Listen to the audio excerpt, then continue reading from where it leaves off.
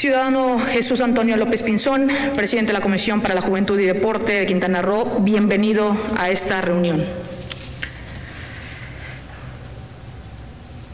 Agradecemos su presencia a este encuentro de diálogo y comunicación entre dos poderes, por un lado representando al Poder Ejecutivo y por otro las diputadas y diputados representando al Poder Legislativo, vinculados ambos por la voluntad del pueblo en un ejercicio de democracia y transparencia respecto al contenido del cuarto informe de gobierno del Estado de Quintana Roo por cuanto a la Comisión para la Juventud y Deporte corresponde, organismos que tiene usted bien a dirigir.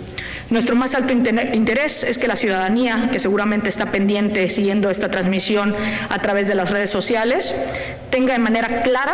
cómo es que se están haciendo las cosas y en nuestra calidad de representantes sociales nos, nos corresponde indagar y verificar que se clarifiquen todas las dudas.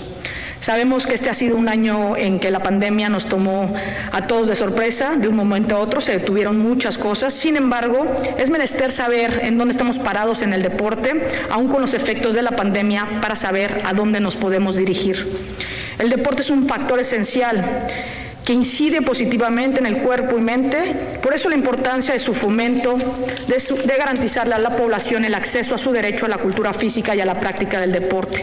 Debemos luchar no solo, no solo un frente para batir temas preocupantes como los altos índices de obesidad infantil, facilitar el acceso a la práctica de actividades físicas para fortalecer el sistema inmunológico de jóvenes y personas adultas mayores, sobre todo que estos beneficios estén disponibles para cada ciudadano, hasta el rincón más lejano de nuestro Quintana Roo. Creo que es el momento aquí ahora, sin más demora, de darnos la oportunidad de ser mejores, de planear y proponernos objetivos reales y programas de cultura física, deporte que beneficien y motiven a la población de todas las edades a participar. Y que llevamos unidos al deporte estatal a un nivel mucho más alto mediante la diversificación y mayor alcance, con perspectiva de género, con inclusión, con condiciones de igualdad,